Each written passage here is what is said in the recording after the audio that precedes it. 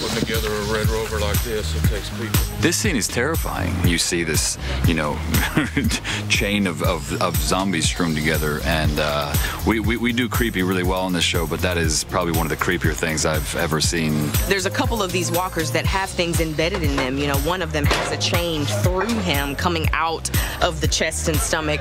I can't even talk about it! The chain is fake. It's painted and rusted. It looks really awesome, but it's lightweight, so you don't have 16 people standing in the middle of the street with 200 pounds of chain on them. Then we have handcuffs, we have wire, and he's playing Rick. So, you know, he's bringing the full Rick to the show. He can actually go full bore and swing. When he has an opportunity to go all the way, he does. He doesn't leave anything behind. I think this is the most intense, dark episode we've ever shot. It's scary and fun and exciting. I, I love this job, yeah, man. It's, it's, a, it's a great job.